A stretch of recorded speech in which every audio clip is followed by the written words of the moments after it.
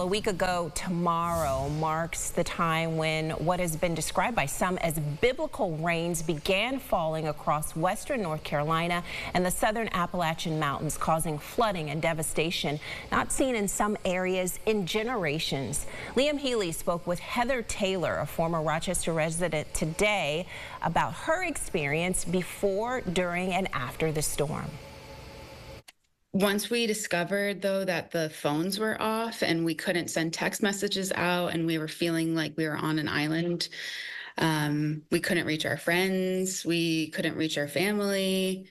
Um, all we had was we could walk to neighbors' houses. For many, that is still the reality, with basic services such as water, power, and cellular signals still hard to come by in the most heavily impacted areas nearly a week later. What we were hearing was um, not really a lot, to be honest. Like we we had to tune into the uh, tune into the radio.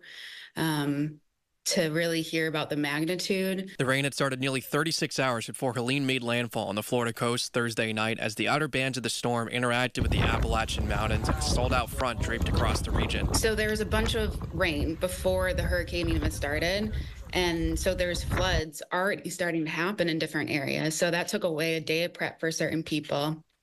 Um, and then the hurricane hit. From there, as communications were down and many aspects of life that many take for granted and washed away, all they could do was focus on how to survive and make it to the next task. We could get in the car, but we weren't sure about landslides. We heard through the grapevine there might be some gas somewhere.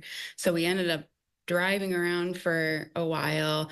Some people were parked out of gas stations just out of the hope that they would turn on. I think it took two to three hours. Like these small little activities were taking half of a day. While some of the initial rush has ended and more and more rescuers and relief is pushing into Western North Carolina, the road ahead is longer than many can even imagine. Well, I know a lot of people are trying to see if they can come down themselves physically, but the main thing right now is to get out.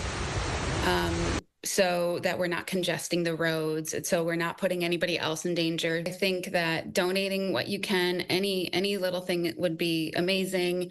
Um, but right now the relief efforts are happening with the bigger organizations